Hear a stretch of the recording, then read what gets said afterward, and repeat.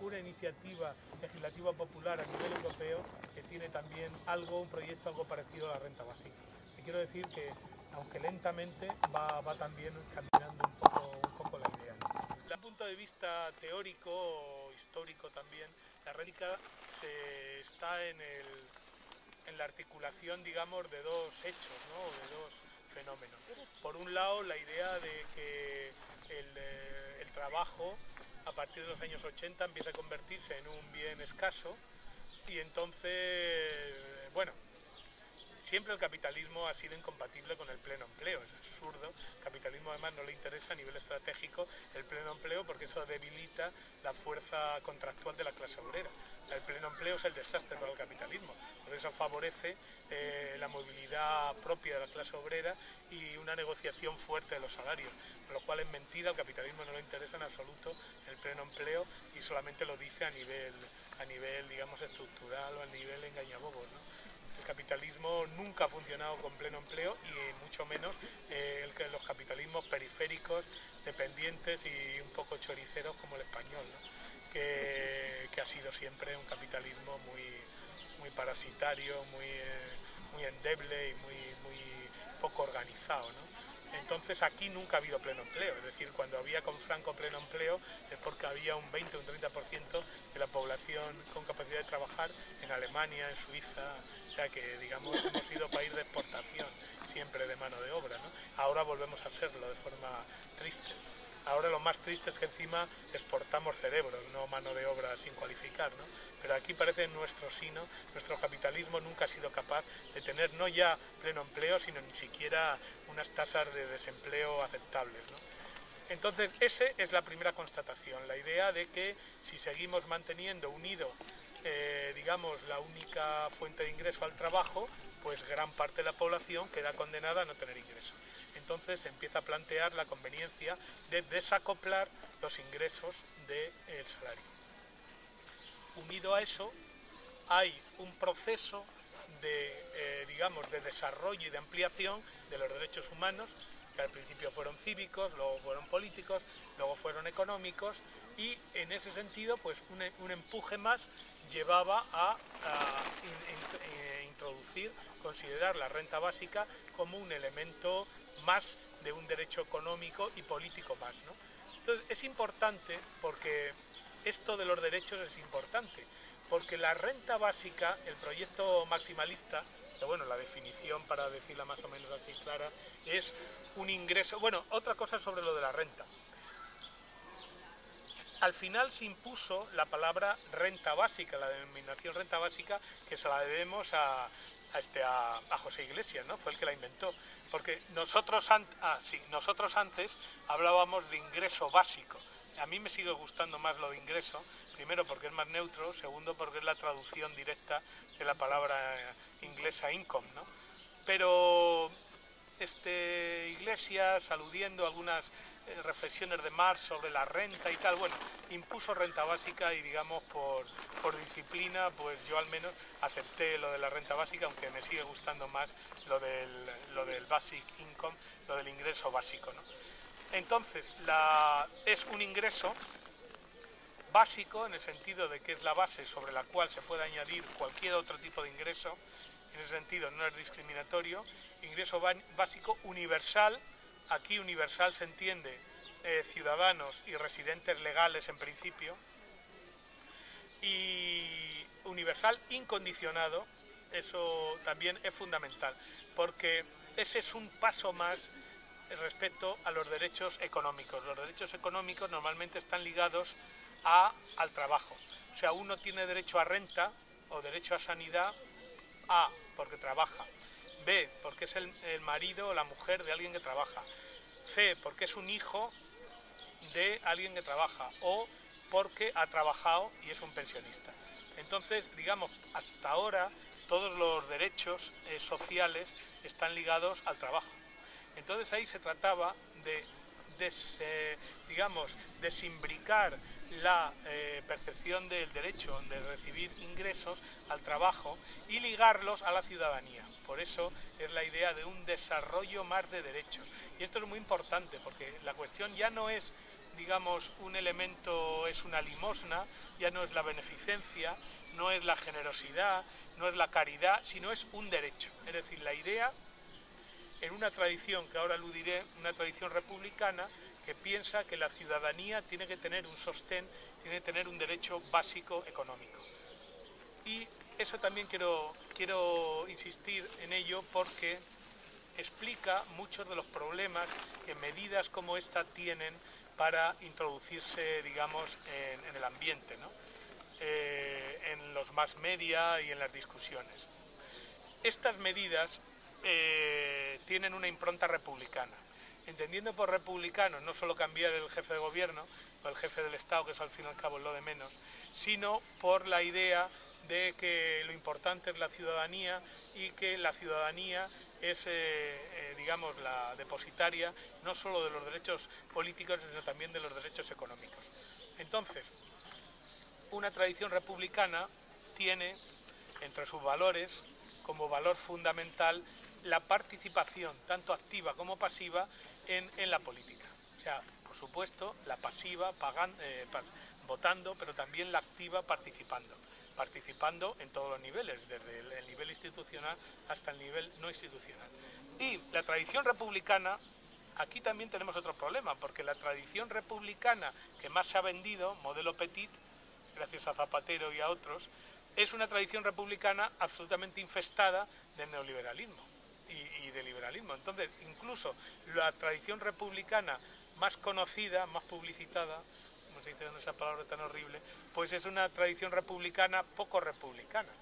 Pero la tradición republicana, digamos clásica, es decir, la tradición republicana que tiene su origen en, Roma, en, los, las repúblicas del siglo XIV y XV italiana, la tradición rusoniana, etcétera, etcétera, es una tradición en la cual eh, un elemento fundamental del ser humano es la participación política. Es decir, en la tabla de valores y de autorrealización tiene un elemento muy importante la participación política. Frente a esto, la tradición liberal considera que los niveles de autorrealización se hacen en el ámbito privado, con la familia, o en el ámbito semipúblico de la profesión. Pero que la política es una cosa que como mucho hay que consentir y, que hay, que intentar minimizar. Por eso, si os dais cuenta, no hay una teoría liberal de la economía, sino una eh, de la no, en Marx, por ejemplo, igual que Marx no hizo una teoría sobre la economía, sino una crítica de la economía política, los liberales no tienen una teoría política, sino una crítica de la política. Es decir, para ellos el Estado y en general la política tiene que ser absolutamente marginal, tener el mínimo, la mínima importancia y, eh, digamos, dar el, valor a, la, sociedad que normalmente, claro, no en la sociedad, sino los poderes institucionales introducidos en la sociedad, no tanto en la sociedad como conjunto de individuos. ¿no? Entonces, es importante que esta medida, como muchísimas de las medidas que se plantean, eh, tienen este trasfondo republicano y por eso son combatidas sistemáticamente con apelaciones, por ejemplo, al derecho a la propiedad privada, a la, centralidad del individuo, la libertad del individuo, eh, etcétera, etcétera. Es decir, que hay una especie de, de ahí de conflicto entre una concepción individualista liberal y una concepción republicana colectiva que no comunitarista. Porque claro, lo que sí yo creo que nos diferencia fundamentalmente del tipo de república clásica, ya digo, la romana, la, la italiana, la rusoniana, es que nuestras sociedades son muy complejas. Ya no tienen esa unidad étnica, esa unidad religiosa, esa unidad eh, racial que tenían estas eh, comunidades, que eran absolutamente homogéneas. Eran todos italianos, hablaban el mismo idioma, vivían en un radio de un par de kilómetros cuadrados, es decir, que ahí eh, eran sociedades muy poco heterogéneas. Nuestras sociedades son completamente heterogéneas. Por eso, yo insisto siempre que hay que meter un, hablar de republicanismo no comunitarista porque la comunidad en nuestras sociedades es imposible. En una comunidad de origen étnico, de origen cultural, de origen histórico, de origen racial, de origen lingüístico, es imposible. Nuestras comunidades, hasta las más homogéneas, como puede ser Portugal o Grecia o ciudades, naciones que son muy homogéneas, están, digamos, atravesadas por el pluralismo. Eh, y mucho más ahora, claro, con todas, somos sociedades de migración y de inmigración, con lo cual es imposible intentar apelar a algo común, ¿no? Por eso, cuando eso, bueno, es un otro, es otro punto que tiene que ver aquí, pero vamos, es una cosa importante sobre la cuestión del patriotismo y tal, ¿no? Cuando se exige y de bueno, pero les vamos a exigir que no solo hablen nuestro idioma, sino que estén de acuerdo con nuestros valores. Eso es una barbaridad, porque ¿cuáles son nuestros valores? Porque nuestros valores son muy, son muy variados, no es solamente hay unos valores. Es decir, que cuando uno apela al patriotismo, dice, ¿y usted por qué está de acuerdo o por qué es patriota? Entonces uno puede decir, no, porque yo me siento español. ¿Y español qué es? O tumba y lepanto también. ¿Español qué es? De los que ganaron la guerra de los que perdieron. De la tradición liberal en el 19 o de la tradición monárquica, de los carlistas o de los liberales. ¿De qué tradición? Entonces, claro, eh, claro, dice, bueno, yo soy español, pero ¿cuál es mi tradición? Pues de los judíos expulsados en el siglo XV, de los eh, dos o tres protestantes que había liquidados en el XVI, de los erasmistas, de los novatores en el XVII y, en, en el XVIII, de los liberales y de los socialistas, anarquistas y comunistas del 20, es decir, y esa no es lo que normalmente se considera España. Entonces, claro, cuidado, cuando se habla de la tradición española, la de nuestra tradición y tal, hay que ver que la tradición está, es muy plural y muy fisurada. Entonces, quiero decir que es muy importante esto porque, claro, la una de las bases de la renta básica, en general de las medidas igualitarias y universalistas, parten del hecho de la ciudadanía. Es decir, que le damos a la gente derechos no porque comparta nuestra tradición, ni nuestro idioma, ni nuestra piel, sino porque comparte una misma constitución y unos mismos derechos y una misma legislación política. En ese sentido no soy nacionalista, soy estatalista. Es decir, defiende una constitución, defiende unos valores, no una historia, porque ya digo que mi historia no es la historia dominante de, España, la que leemos normalmente en los libros. ¿no? Entonces, ese es el punto importante, que la, la, base de estas medidas es una medida republicana, una medida basada en la ciudadanía, que considera que uno no puede ser ciudadano, digamos, honesto de un país en comparación eh, que, en el cual hay ciudadanos sometidos a la miseria, al sufrimiento, al abandono, que no tiene derechos, que no tiene ingresos, etcétera. Es decir, esa es la línea de desarrollo de la, de la ciudadanía. Otro tipo de, justificación que se ha dado, que tiene, que por cierto tiene un origen en origen marciano, ¿no? Origen de en Mars, en la mina esa de, de, obra y de inteligencia que hay en los famosos Grundrisse, es decir, en los cuadernos preparatorios para el capital. Ahí hay, un, hay varios trabajos, pero hay un trabajo muy importante en que Marx, en los años 60 del siglo XIX, ya empieza a darse cuenta del carácter colectivo de la producción en el capitalismo y, por lo tanto, la dificultad, la imposibilidad de asignar a cada uno su contribución a la riqueza. Es decir, eh, eso tiene que ver, ahí está, eso va en una lucha eh, completamente enfrentada a las concepciones meritocráticas. Pues claro, aquí uno de los argumentos que se utiliza contra este tipo de medidas es que estamos financiando a los vagos. Es decir, los que trabajan, los que trabajamos, estamos financiando a los que no quieren trabajar. en principio es a los que no pueden, pero una renta básica también contempla a los que no quieren trabajar. Claro, eso como todo tiene que ser no hacerlo todos a la vez, porque obviamente si todos a la vez dejamos de trabajar, el sistema se hunde, pero sí debe de permitir que a lo largo de la vida cada individuo pueda elegir en qué momento trabaja, en qué momento deja de trabajar, qué momento quiere dedicarlo a estudiar, qué momento quiere dedicarlo a tener un hijo, qué momento quiere dedicarlo a darse un año sabático y simplemente descansar, etcétera, etcétera. Y para eso necesita tener mecanismos de, ingreso que no le estigmaticen, que no le consideren un pobre, un delincuente, un marginado, un vago, sino que lo reciba como derecho y no como limosna.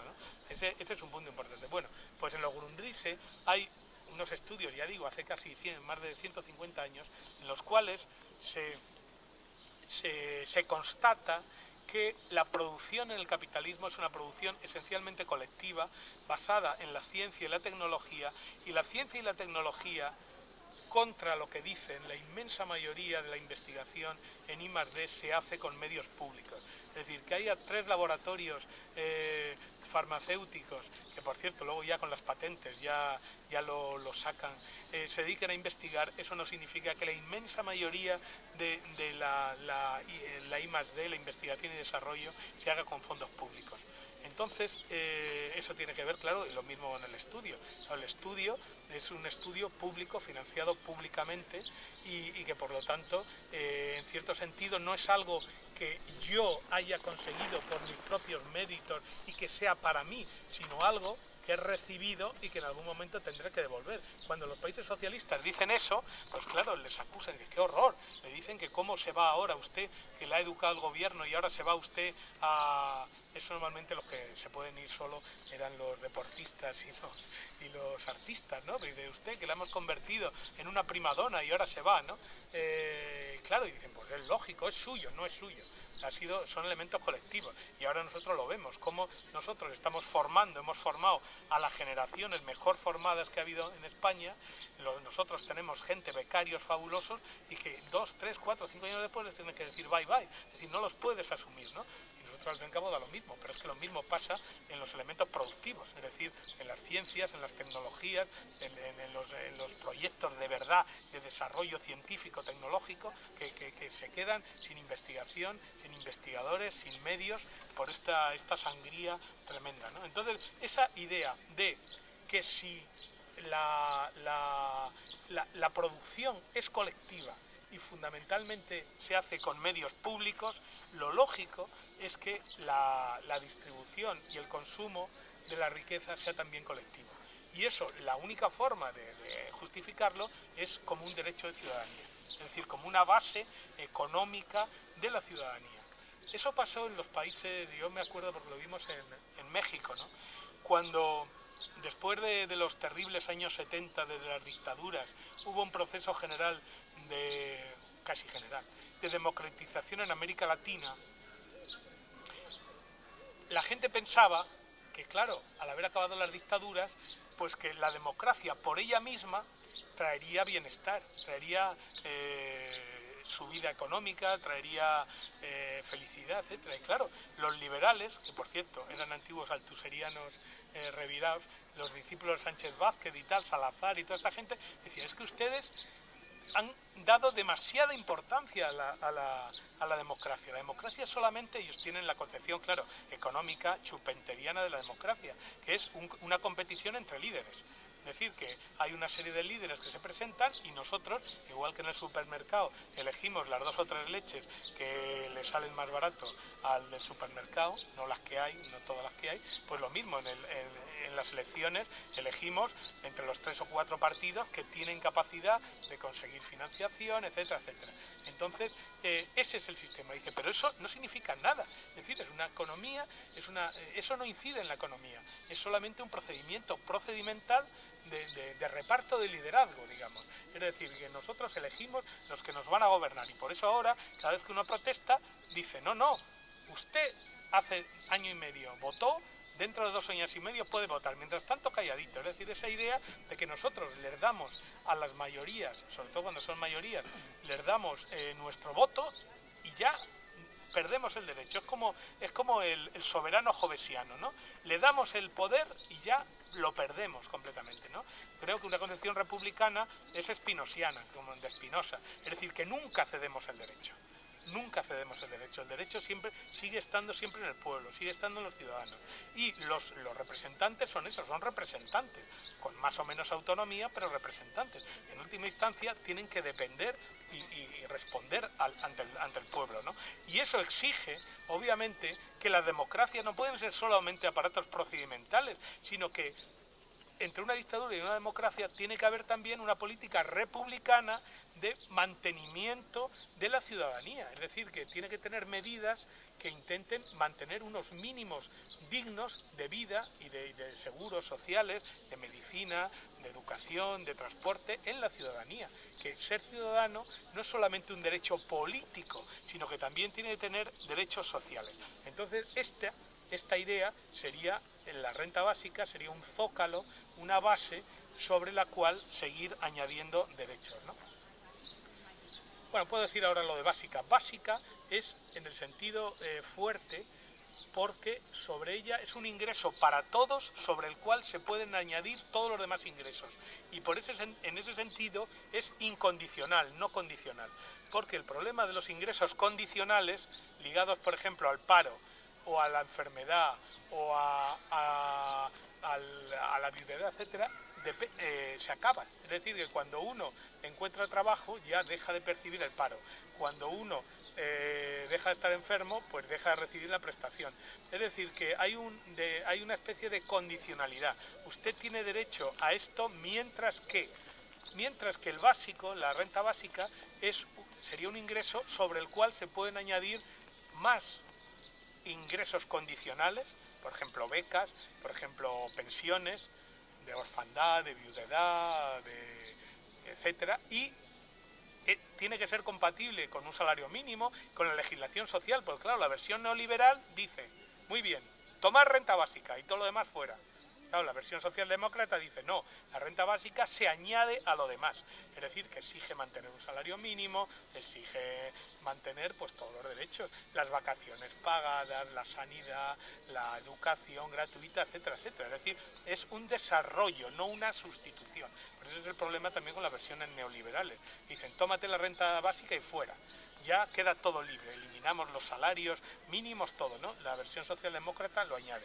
Ese, ese es un punto y, luego, y claro, sobre todo que es compatible con el trabajo. Ese es el elemento fundamental que, elimina la estigmatización y luego el efecto de derecho. ¿no? Yo creo que son, los elementos importantes son eso, la universalidad, la incondicionalidad y la concepción como derecho, no como, como eh, caridad o como segregación, etc. Y eso elimina también la estigmatización porque esto, igual que los derechos, eh, los derechos de voto, son para todos. Esa es otra de las paradojas que la gente te critica. Dice, ¿y esto supone que hay que dar dinero a Botín y a Mario Conde? Pues sí, también hay que dárselo.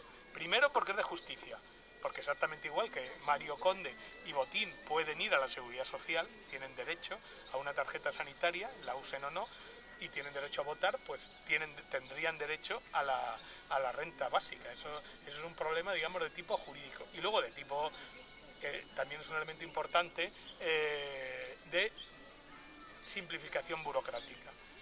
El tener que controlar quién tiene derecho, quién pierde el derecho, supone una maraña desde el punto de vista del Estado, burocrática brutal, y desde el punto de vista de los ciudadanos, una maraña de asistentes sociales, vigilantes que le vigilan si cobra, si no cobra, si con quién vive, ah, otro elemento, independientemente de con quién viva. Que vive con su padre, no, entonces no tiene derecho. Que vive con, que en su casa entran tres ingresos, no tiene derecho. Es decir, que se quitan la simplificación burocrática tiene esos dos aspectos. Elimina burócratas, controladores desde el punto de vista de la administración y elimina esas redes brutales de, digamos, de cuadri, eh, de vigilancia y de rejillas vigilantes sobre la población que tienes ahora con los asistentes sociales, toda esa gente que te va vigilando y que continuamente se inmiscuye en tu vida el dinero que entra, con quién vives, cómo vives, si hay niños, si no hay niños, si vive la mujer, no vive la... Es decir, todos estos, toda esta tramoya burocrática y tan agobiante para los, ciudadanos, ¿no? que se les quita el estigma. Y bueno, ah, y otro punto importante que tiene que ver con esto de la justificación, no solamente el de el reparto eh, colectivo de la riqueza producida colectivamente, sino que eso supone también un cambio en las nociones de justicia. Ya no es una noción de justicia meritocrática, pero precisamente por, primero, porque curiosamente, esta es una de las paradojas liberales, ¿no?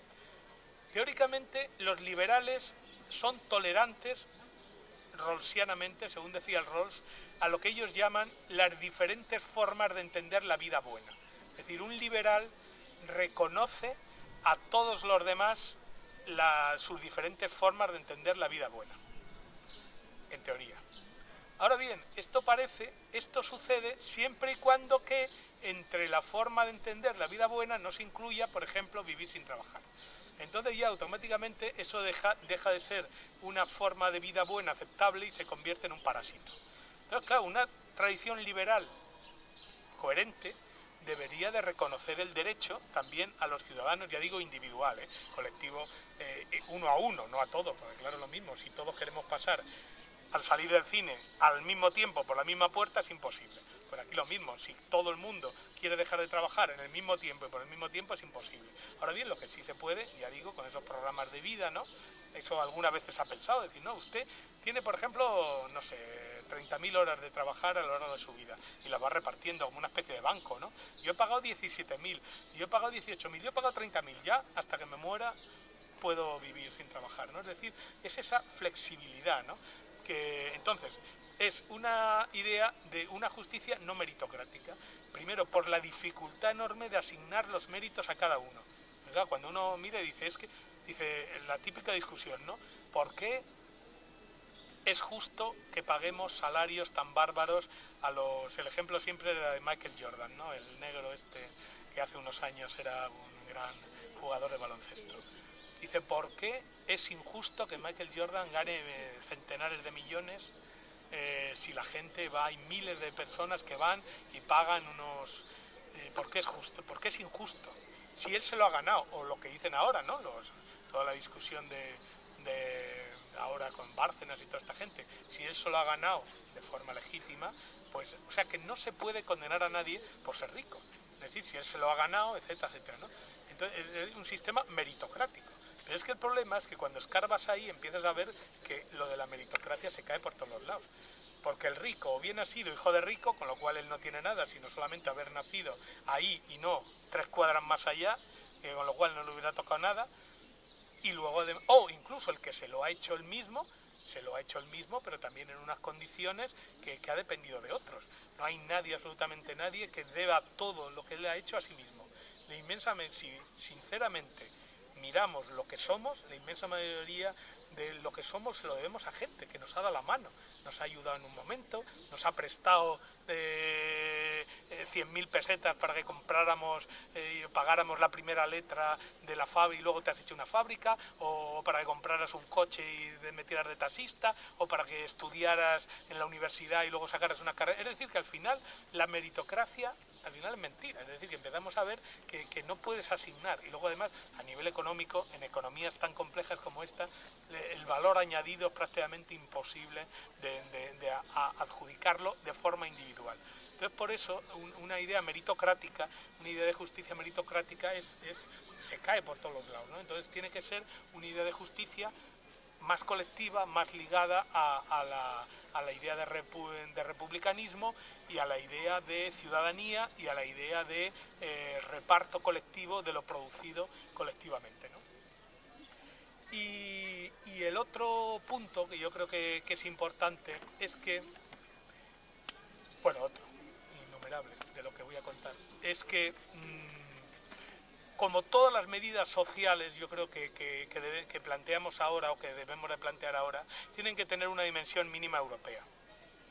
Eh, aquí, claro, pasa lo de siempre, que en un momento en que el europeísmo está tan bajo, está tan, tan decaído, que los pueblos, sobre todo los del sur de Europa, hemos pasado de considerar Europa era una era muy benefactora, no era una especie de, vaca nutricia que con sus tetas nos, alimentaba y eso es verdad, sobre todo vamos en las zonas más más deterioradas. Yo lo he seguido el proceso desde el año 90 en Extremadura y es verdad que, Extremadura ha cambiado enormemente debido a, fondos europeos en gran parte, etcétera, etcétera. ¿no? Es decir, entonces ahora pasa lo contrario. Ahora hay un momento, digamos, de horas bajas del europeísmo. De todas formas, eh, yo creo que a pesar de todo hay que relanzar, yo creo, dos ideas fundamentales que están muy, muy de capa caída, pero que pueden ser eh, absolutamente imprescindibles. Una es el europeísmo y otra el socialismo con todas las comillas que queramos y todos los, eh, digamos, los, los, cambios, ajustes, etcétera. Eh, lo del europeísmo, que es eh, yo creo lo que más tiene que ver con la medida esta de la renta básica. ¿no? En las discusiones eh, sobre Europa, que empezó ya con Maastricht, siguió con la famosa constitución non nata y luego con el Tratado de Lisboa, la paradoja que se producía es que en el cajón desastre de los euroescépticos estaban, por un lado, los euroescépticos de verdad, es decir, los que no quieren Europa, bien por motivos liberales o bien por motivos, como los franceses, patrióticos de la France, o bien por motivos económicos, como por ejemplo los países nórdicos, que tenían unos servicios sociales fabulosos antes de que pasara la, apisonadora neoliberal. Eh, se negaban a Europa, es decir, estaban esos euroscépticos junto con los que queríamos más Europa, es decir, que queríamos una Europa integrada de verdad, no solamente una Europa como mercado, sino una Europa con una política social común, con una política eh, financiera común, con unos bancos comunes, como estamos ahora, etcétera, etcétera. Es decir, que en el mismo cajón del euroscepticismo y de los anti-Maastricht estábamos con la extrema derecha. Es decir, estábamos los comunistas con, con Le Pen, estábamos, los, digamos, lo, eh, este, Chevenemán y toda esta gente que querían también más, con los, los, los, los críticos de, extrema izquierda o con los neoconservadores británicos. ¿no? Eh, entonces, claro, el problema grave es ese, como que en, la, en la, la discusión europea se ha vendido que europeísmo es solamente la línea que se ha impuesto. Es decir, una línea fundamentalmente neoliberal, una línea de unión de mercados, y cualquier vea, vea que la ciudadanía europea, porque una de las cosas que nos vendieron con el Tratado de Lisboa y con la Constitución es la ciudadanía europea, pero la ciudadanía europea que es simplemente que tenemos un pasaporte que pone UE y sería de disco y el derecho de que los, los cónsules de cualquier país europeo respondan a los demás.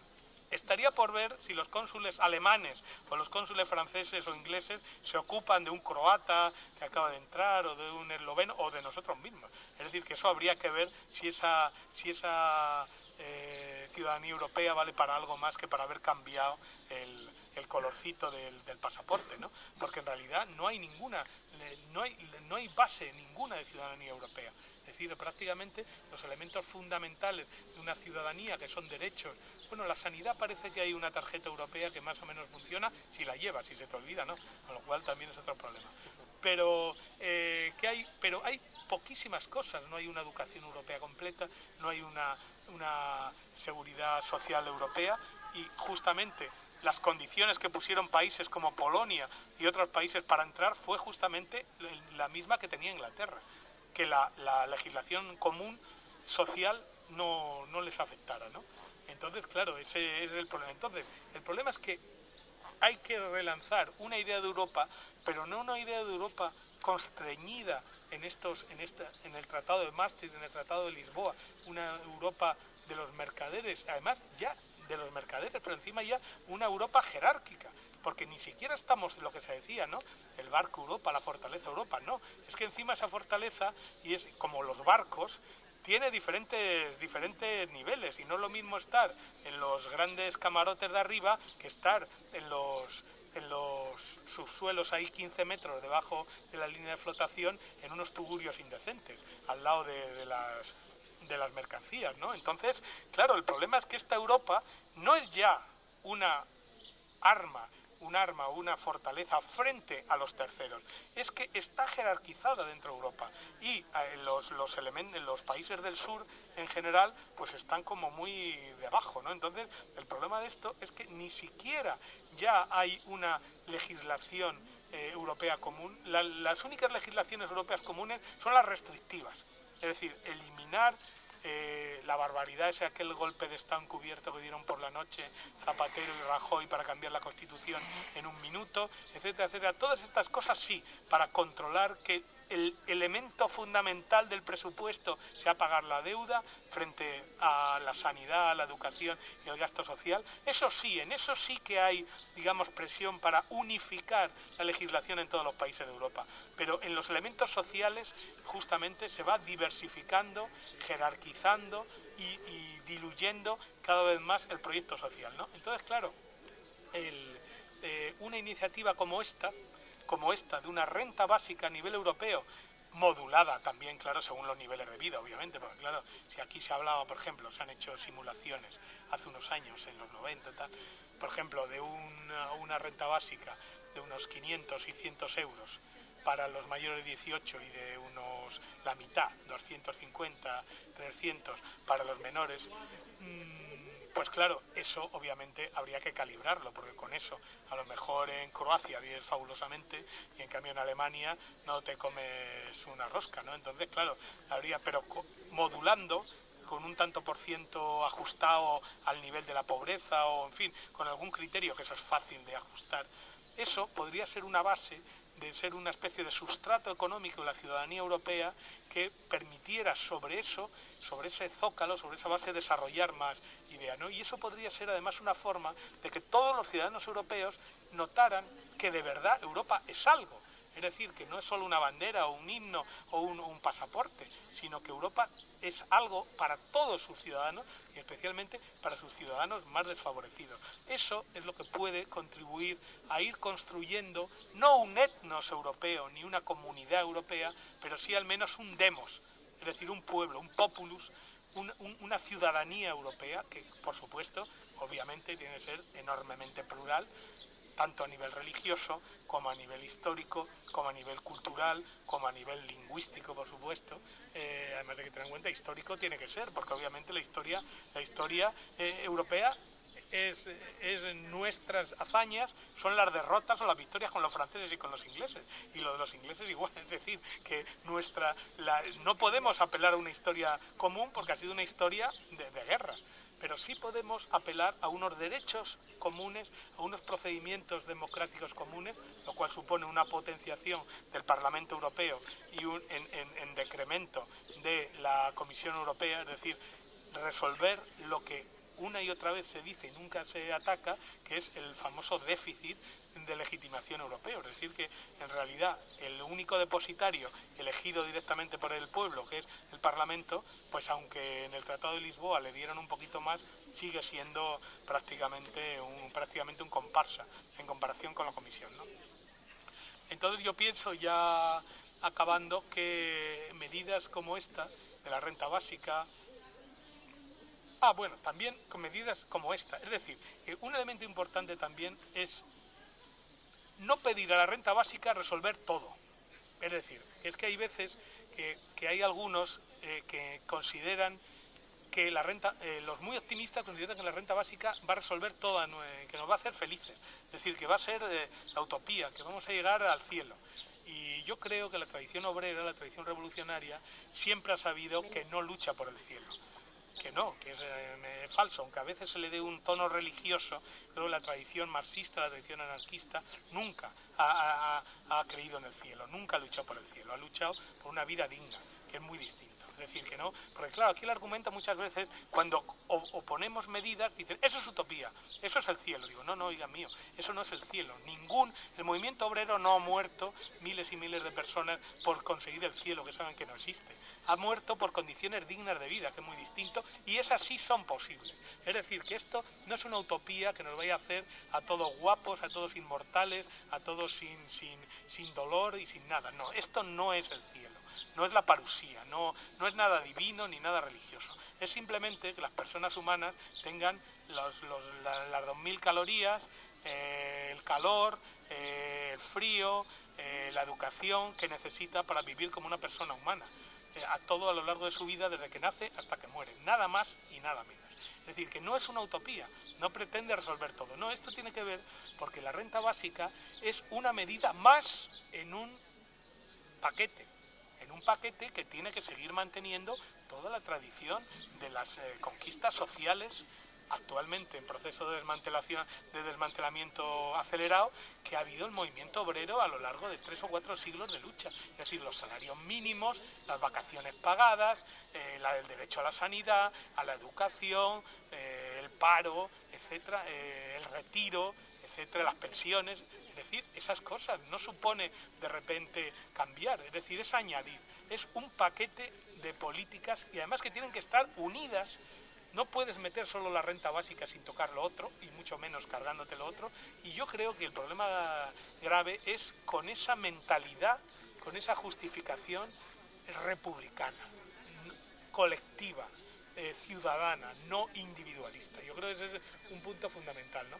Pero Pero dado eso, yo creo que ese, ese puede ser un buen, un buen, un buen, digamos, banderín de enganche para intentar relanzar ese europeísmo decadente y sería, sería importante. Se están dando pasos, ya con esto voy acabando, se van dando pasos a ver si en las próximas elecciones europeas, que aún queda margen, que al menos la, digamos, las posiciones de izquierda, lo ideal sería que los socialdemócratas hicieran lo propio, pero lo tienen mucho más crudo, nos presentáramos con, políticas alternativas a nivel europeo de salida de la crisis y con medidas anticrisis. Sería muy importante. Yo creo que es importante, aunque difícil. Difícil porque, primero, porque la izquierda está muy difuminada, está muy escindida. La izquierda institucional es muy recelosa de los movimientos, muy, muy poco generosa. Los movimientos suelen tener unas vertientes anarquizantes, antiinstitucionales también muy acentradas, muy justificadas en muchos casos. Entonces, el problema de esto es que es un diálogo imprescindible, pero enorme. Yo no diría imposible, yo soy optimista, pero muy difícil. Es decir, es muy difícil porque, primero, los partidos institucionales tienen que ser generosos, es decir, no tienen que intentar copar, no tienen que intentar controlar desde arriba, es decir, tienen que abandonar esa concepción patrimonialista de que la izquierda soy yo y, que todo el mundo tiene que venir debajo de mis orcas caudinas y debajo de mi bandera. Yo creo que en ese sentido hay que ser generoso y yo creo que el movimiento altermundista en eso haya, ha añadido algunas gotas de humildad, es decir, que somos todos iguales, todos tenemos que colaborar, etcétera, etcétera. Y luego los movimientos, digamos, grassroots, ¿no? Los movimientos de, de abajo, los movimientos sociales, pues tienen que al mismo tiempo, digamos, limpiarse un poco esa costra antiinstitucional y tener en cuenta que las modificaciones se hacen a todos los niveles, pero en un papel muy fundamental también eh, a nivel institucional, que no podemos abandonar las instituciones a la derecha y al neoliberalismo, que hay que combatir también en las instituciones hay que tener una pata en las instituciones y otra fuera. O sea, yo no creo, y esa fue una de las discusiones, por ejemplo, con los de Nueva Izquierda y con la gente de nuestras tendencias de derecha, al final se van al PSOE, eh, que tengamos que estar completamente dentro del sistema. Hay que tener una patita fuera del sistema, pero no las dos. Las dos es imposible porque te condenas, aparte que es imposible, es que te condenas a la, un poco a la esterilidad. Es decir, si renunciamos a dar la batalla en las instituciones, en la legislación, en, eh, los cambios legislativos, en los cambios en la correlación de fuerzas, si renunciamos a intentar convencer a esa gran parte de la población que incluso no solamente vota al PSOE, sino que incluso vota a la derecha, de que tiene elementos en contacto con nosotros y que nosotros les podemos ofrecer valores que pueden aceptar. Es decir, que que no es un, programa colectivista, que no es un programa eh, revanchista, que no es un programa, digamos, igualitario de cortar cabezas a todos por igual, sino que son programas de redistribución de la renta, de justicia social, de readecuación, de, de, elevar el nivel de vida a los más favorecidos, porque eso también eleva nuestra dignidad. Me decía yo, me considero digno y soy patriota si vivo en un país que no tiene enfermos eh, terminales abandonados, que no tiene niños mendigos en la calle, que no tiene personas abandonadas eh, sin pensión o sin trabajo, que no coge a 300.000 eh, trabajadores porque son trabajadores o los han sido y les quita la seguridad social y los echa patadas y les cobra 6.000 euros por un cáncer, etcétera, etcétera. Es decir, si yo puedo estar digno y ser patriota, decir soy ciudadano del Estado español y de la Unión Europea, porque en mi país o en mi ámbito no pasa eso. Pero mientras pase y cada vez de forma más creciente, pues claro, ese es un punto que se puede vender también como dignidad, más el patriotismo, claro, con una concepción republicana no una concepción liberal. La concepción liberal, cada palo aguante su vela y que en Dios se la dé, San Pedro se la bendiga, claro, dirán, a mí que le echen me importa. ¿Qué tengo yo que ver con estos desgraciados? Que encima están viviendo de mis impuestos. Claro, si el criterio es ese, obviamente no podemos. Pero no todo el mundo es así. Es decir, no todo el mundo, incluso los que votan a partido de derecha y tal, están en esa mentalidad. No todos piensan eso. Y además no todos, además porque la mayoría de ellos también son necesitados. Es decir, también tienen hipotecas, también les echan del trabajo, también les van a jorobar la sanidad, etcétera, etcétera. Es decir, que también son víctimas. O sea, no todo el mundo que vota, obviamente, a la derecha son botinas company. Es decir, hay mucha gente, la mayoría son trabajadores. Es decir, gente eh, que vive exactamente igual casi que los que votan a la izquierda, igual de mal y que están sufriendo prácticamente lo mismo, quitando una capa muy pequeña arriba, pero la inmensa mayoría de los que votan, incluso la derecha, eh, son, son también trabajadores necesitados y la crisis los está machacando. Entonces quiero decir que tenemos que ser capaces de hacer un programa, aunque sea de mínimos, pero que sea capaz de ajustar y apuntar soluciones creíbles, y por eso el elemento económico, no ya de, digamos, de aficionados como yo, sino de técnicos de verdad que construyan proyectos económicos viables, eh, son absolutamente esenciales para hacer una lista, una tabla de salida, de medidas para hacer una salida de izquierda de la crisis a nivel europeo, que, sería muy conveniente lograrlo para las, elecciones europeas, sin quitar, por supuesto, seguir trabajando todo el día y tal. Entonces yo creo que esas dos medidas y esas dos ideas fuerzas están tan abandonadas, la idea de socialismo y, la, en su versión socialdemócrata, claro, socialdemócrata de izquierda, pero socialdemócrata. O, una, o el europeísmo fuerte en este sentido, yo creo que pueden ser dos ideas fuertes que pueden y que a lo mejor tienen que servir para eh, volver a aglutinar a la ciudadanía en torno a la política, de la cual, pues con toda la justificación del mundo, se siente últimamente tan, tan abandonada. ¿no? Bueno, yo lo dejo aquí, pues agradeciendo de nuevo la, concurrencia y el ámbito utópico, digamos, la única fuente de ingreso al trabajo, pues gran parte de la población queda condenada a no tener ingreso. Entonces se empieza a plantear la conveniencia de desacoplar los ingresos del salario.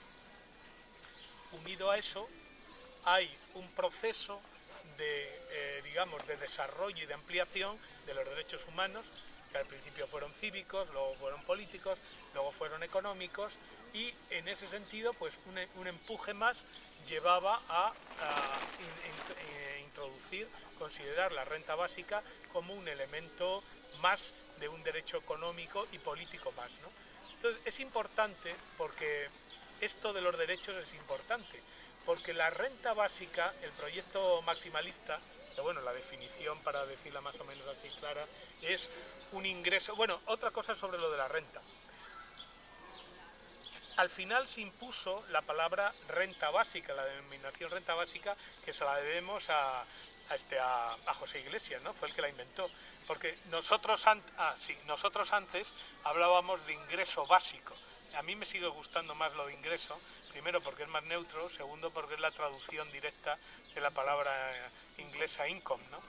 Pero este, Iglesias, aludiendo a algunas eh, reflexiones de Marx sobre la renta y tal, bueno, impuso renta básica y digamos por, por disciplina, pues yo al menos acepté lo de la renta básica, aunque me sigue gustando más lo del, lo del basic income, lo del ingreso básico, ¿no? Entonces, la, es un ingreso básico en el sentido de que es la base sobre la cual se puede añadir cualquier otro tipo de ingreso, en ese sentido no es discriminatorio, ingreso básico universal, aquí universal se entiende eh, ciudadanos y residentes legales en principio, y universal incondicionado, eso también es fundamental, porque ese es un paso más respecto a los derechos económicos. Los derechos económicos normalmente están ligados a, al trabajo. O sea, uno tiene derecho a renta o derecho a sanidad A, porque trabaja. B, porque es el, marido o la mujer de alguien que trabaja. C, porque es un hijo de alguien que trabaja. O porque ha trabajado y es un pensionista. Entonces, digamos, hasta ahora todos los derechos eh, sociales están ligados al trabajo. Entonces ahí se trataba de, digamos, desimbricar la eh, percepción del derecho de recibir ingresos al trabajo y ligarlos a la ciudadanía. Por eso es la idea de un desarrollo más de derechos. Y esto es muy importante porque la cuestión ya no es, digamos, un elemento, es una limosna, ya no es la beneficencia, no es la generosidad, no es la... a nivel, digamos, estructural o a nivel engañabobos, ¿no? El capitalismo nunca ha funcionado con pleno empleo y mucho menos eh, el los capitalismos periféricos, dependientes y un poco choriceros como el español, que, ha sido siempre un capitalismo muy, muy parasitario, muy, eh, muy endeble y muy, muy poco organizado. Entonces aquí nunca ha habido pleno empleo, es decir, cuando había con Franco pleno empleo es porque había un 20 o un 30% de la población con capacidad de trabajar en Alemania, en Suiza, o sea que digamos hemos sido país de exportación siempre de mano de obra, ¿no? Ahora volvemos a serlo de forma triste. Ahora lo más triste es que encima exportamos cerebros, no mano de obra sin cualificar, ¿no? Pero aquí parece nuestro sino, nuestro capitalismo nunca ha sido capaz de tener no ya pleno empleo, sino ni siquiera unas tasas de desempleo aceptables, ¿no? Entonces, esa es la primera constatación, la idea de que si seguimos manteniendo unido una iniciativa legislativa popular a nivel europeo que tiene también algo, un proyecto algo parecido a la renta básica. Y quiero decir que, aunque lentamente, va, va también caminando un poco, un poco la idea. Desde un punto de vista teórico o histórico también, la renta se está en, el, en la articulación, digamos, de dos hechos, ¿no? de dos fenómenos.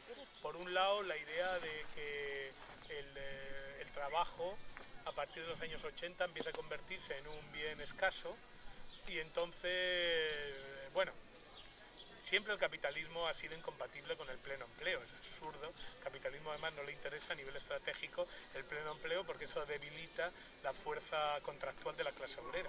El pleno empleo es el desastre para el capitalismo, por eso favorece eh, la movilidad propia de la clase obrera y una negociación fuerte de los salarios, lo cual es mentira, el capitalismo no le interesa en absoluto el pleno empleo y solamente lo dice a nivel